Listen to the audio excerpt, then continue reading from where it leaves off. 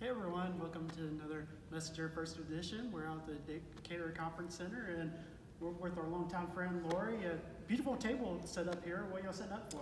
We are getting ready for Easter brunch. It will be April the 21st. Uh, we have two seatings, 11 and 12:30, and we just like to invite the community to come. It is RSVP only, and uh, give us a call. We'd love to get you on the list. Wow, sounds like a great time. Uh, Lori, how do uh, people get tickets? They can call uh, 940-393-0280 or just send us an email. It's on our website. Uh, Chef has an amazing menu for that day. The bunny will be here, and uh, we have our harpist, and it's just really a special time for families. Good, good. Well, while you're making plans to be out here for Easter, uh, pick up uh, latest copy of the Wise County Messenger. Got a couple great features on the front page.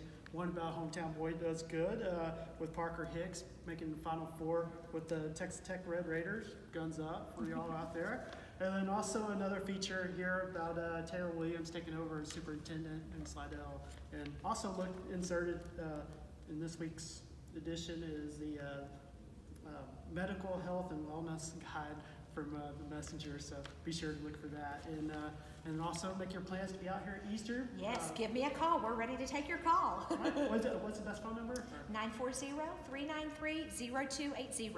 All right. Well, hey, we'll see y'all next week.